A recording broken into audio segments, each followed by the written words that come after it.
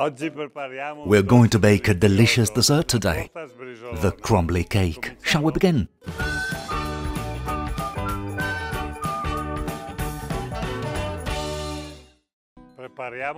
Let's prepare the dough. We will start with flour. I'll put it in the middle. I'll put the yeast, the corn flour, the ground almonds.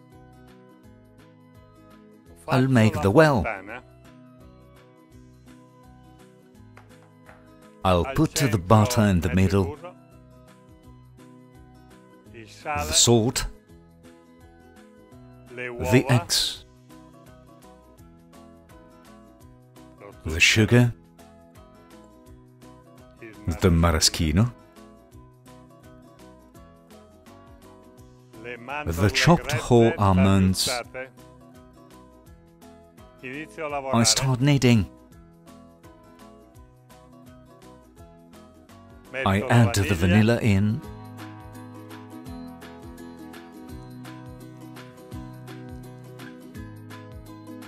Now I'll knead the powders across.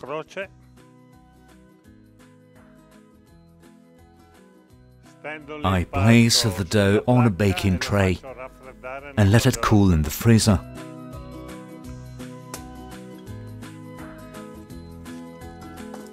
Here it is. The dough's cold.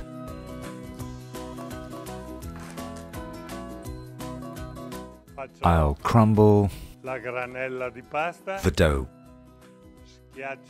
I squash the cold dough through a large mesh.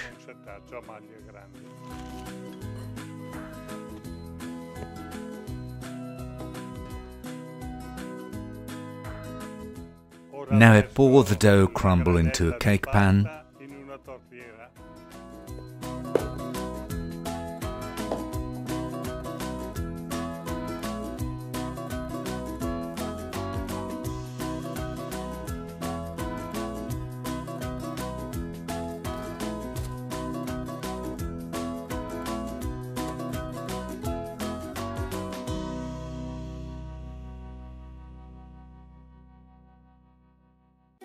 Here's my crumbly cake, with unique taste and flavor and an extraordinary texture.